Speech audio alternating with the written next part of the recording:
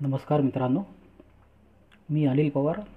आजच्या या power point presentation लेसनमध्ये मी आपले सहर्ष स्वागत करीत आहे. मित्रांनो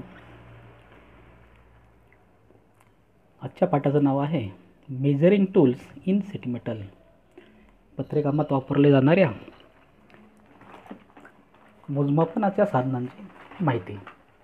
यामध्ये steel rule steel tape standard wire gauge try square L square आणि कॅलिपर्स इत्यादींची माहिती आपण घेणार आहोत. मित्रांनो स्टील रूल ही स्टेनलेस स्टील या धातूपासून तयार केलेली असते.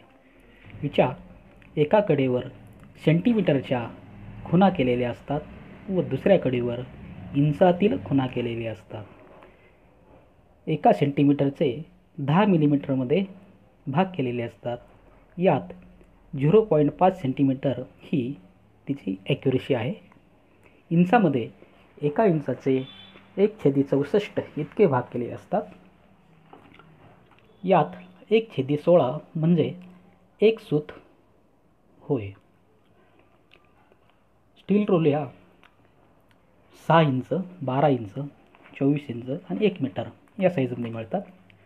छोट्या जॉबची मापे घेण्यासाठी याचा वापर केला जातो.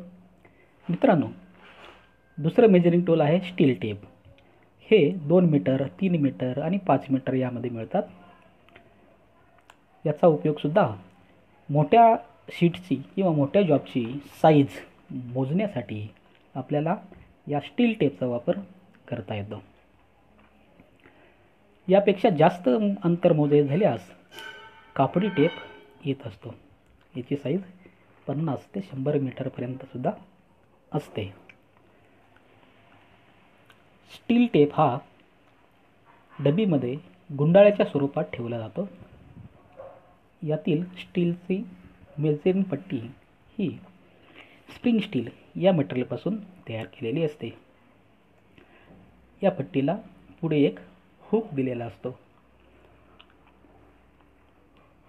हा हुक अडकून आपण याचे मोजमाप घेऊ शकतो.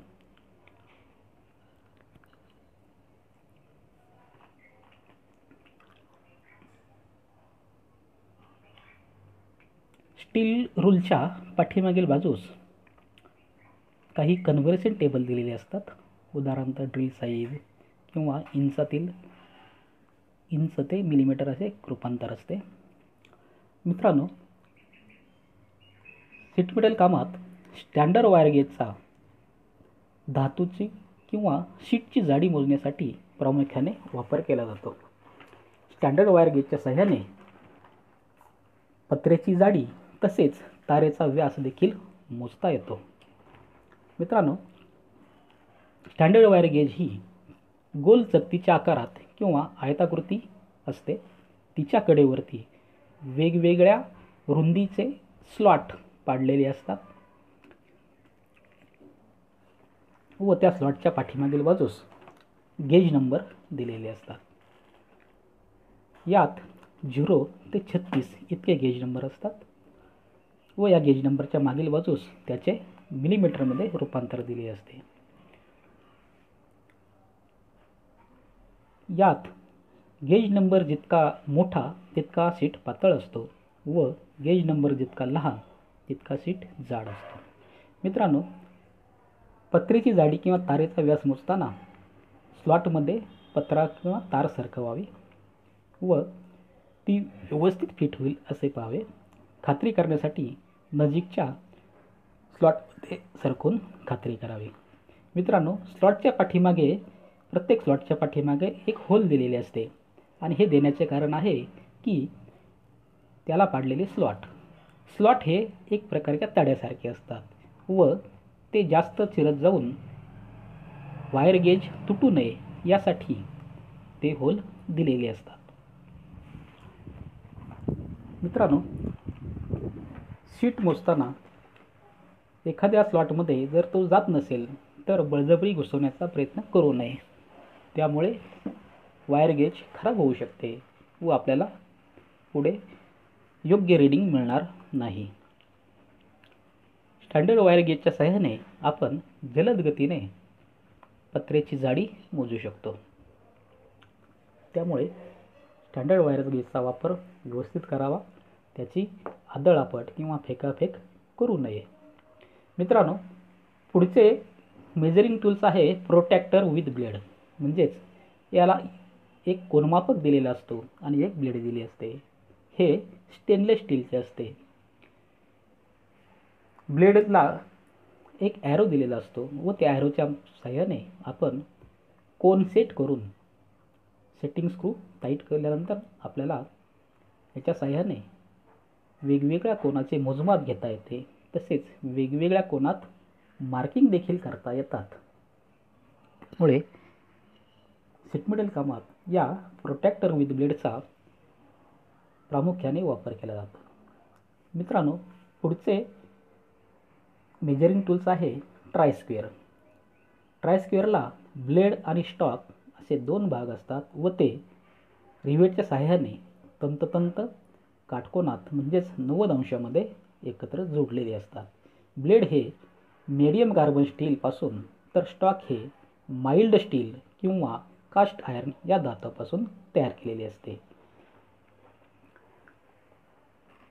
याच्या साह्याने जॉबच्या कडा काटकोनात आहेत का नाही हे तपासता येते. तसेच काटकोनामध्ये मार्किंग करता येते. तसेच याच्या मदतीने जॉबच्या पृष्ठभागावर समांतर रेषा देखील ओळता येतात. मित्रांनो पुढचे मेजरिंग टूल आहे एल स्क्वेअर याचा उपयोग सीट मेटल कामात किंवा गोंडी कामात केला जातो. हा याचा उपयोग ट्रायसेर स्क्वेअरसारखाच असून हा ट्रायस्क्वेअरपेक्षा साईजने मोठा असतो. याच्या लांब भागाला ब्लेड व अरुंद भागाला टंग असे म्हणतात. हा एकाच अखंड पीसपासून तयार केलेला असतो. याचे मटेरियल मीडियम कार्बन स्टील हे असते.